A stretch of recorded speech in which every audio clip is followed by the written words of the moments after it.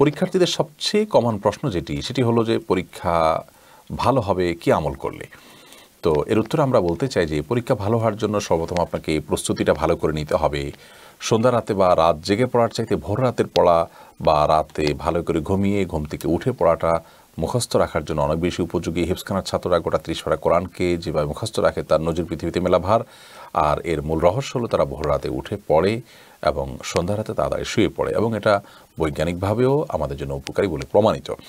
এর পাশাপাশি পরীক্ষা ভালো ফলাফল করার জন্য একজন ইমানদার আল্লাহর কাছে দোয়া করবে যেন আল্লাহ সহজ করেন। পরীক্ষার হলে যাওয়ার আগে আল্লাহর সাথে কথা বলবে কানেক্ট হওয়ার চেষ্টা করবে এবং আল্লাহ সাহায্য চাইবে।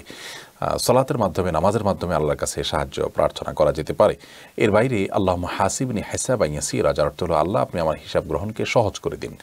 এই দোয়াটি পাঠ করা যেতে পারে। যদিও এই দোয়াটি পরীক্ষায় ভালো ফলাফল করার জন্য হাদিস বর্ণিত কোনো দোয়া নয়।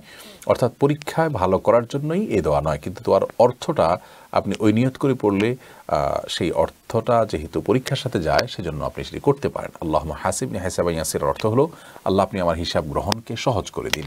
মূলত এখানে উদ্দেশ্য হলো, আখেরাতে হিসাব গ্রহণ সহজ। তো যে কোনো হিসাব গ্রহণ বা যে কোনো পরীক্ষা এর মুখোমুখি হলে আমরা আল্লাহর কাছে সেটি সহজ হওয়ার জন্য সাধারণভাবে দোয়া করতে পারি। এর পাশাপাশি পরীক্ষা ভালো ফলাফল করার জন্য আল্লাহর প্রতি আস্থা এবং ভরসা, তাওয়াক্কুল রাখাটা অনেক গুরুত্বপূর্ণ একটি আমল। কারণ আমরা জানি যে অনেক শিক্ষার্থী অনেক পরীক্ষার্থী তারা ভালো পড়াশোনা করে প্রস্তুতি নেওয়ার পরও পরীক্ষা ভালো করতে পারেন না, কারণ তারা নার্ভাস হয়ে যান। নার্ভাস হয়ে যাওয়ার ফলে তারা অনেকটা গুলিয়ে ফেলেন। ইমানদারের জন্য নার্ভাস হওয়ার কোনো সুযোগ নেই। ইমানদার সর্বাবস্থা আল্লাহর প্রতি আস্থা এবং ভরসা রাখবে। আল্লাহর প্রতি তাওয়াক্কুল করবে।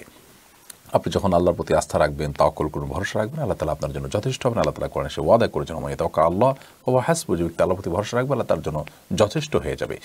পরীক্ষায় ভালো ফলাফল পাওয়ার জন্য নির্ভার থাকার কোনো বিকল্প নেই।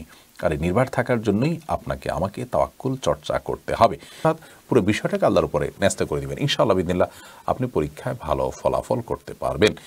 আমরা অনেকে আছি পড়াশোনা না করে, ফাঁকি ঝুঁকি দিয়ে সময় কাটিয়ে দোয়া এবং আমল খুঁজে বেড়ায় যাতে করে শর্টকাট কোনো ওয়েতে পরীক্ষার বৈতরণে পার হতে পারি। এই শিক্ষা ইসলাম আমাদেরকে দেয়নি। যে কোনো কাজ করব, সেটাকে যথাযথভাবে করব, ভালোভাবে করব। এটাই আল্লাহ তালা পছন্দ করেন। হাদিসে স্পষ্টভাবে নবী করিম সাল্লাহ সাল্লাম বলেছেন, বিধায় পরীক্ষা ভালো হওয়ার জন্য আমাদেরকে এই কাজগুলো করতে হবে, সাধনা অব্যাহত রাখতে হবে।